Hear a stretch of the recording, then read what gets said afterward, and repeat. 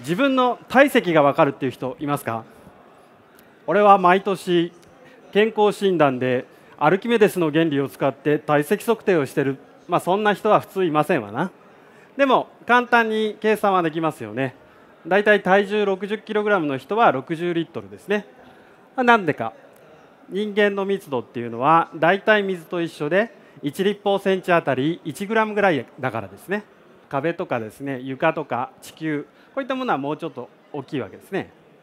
ところがですね宇宙に目を向けてみます。宇宙全体ですね。宇宙全体の密度っていうのは10のマイナス29乗グラム立方センチメートルというふうに言われています。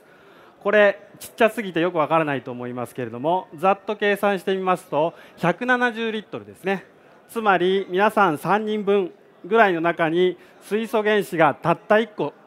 これだけしかないんですね。あるいは見方を変えると、えー、縦横高さすべて200万キロメートルの立方体の中に皆さんがたった1人だけですね。たった1人だけいるっていう状況でほぼ宇宙の密度と同じぐらいになります。もう出会いなんて絶対無理ですね。だ宇宙を考えると水素原子が2つ集まって分子を作る。っていうのがいかに難しいことかっていうのが分かると思います。ところが今我々はここにいます。ここに物質集まってできてます。なんでか。一つはですね宇宙はもともと今は非常にでっかいですけれどももともとはすごく小さかった。ということがありますがそれ以外にもですね重力というのを使って出会いをセッティングしてくれた裏方さんがいたからそういうふうに考えられています。この裏方さんはですね本当に黒子に徹していまして、まあ、見えない人類がこれまで用いたあらゆる観測手段を用いてもいまだにその正体が分かっていないということで暗黒物質ダークマターというふうに呼ばれています。このダークマターのおかげで銀河系ができてその中に太陽系そして地球ができてその上で我々が生まれたとこういうふうに考えられています。幽霊の正体っていうのは枯れ尾花だったりするんですけれどもダークマターの正体っていうのは未知の素粒子である可能性が非常に高いとこういうふうに考えられてます。その候補の一つなんですけどもそれが、えー、我々が探しているアクシオンという素粒子になります。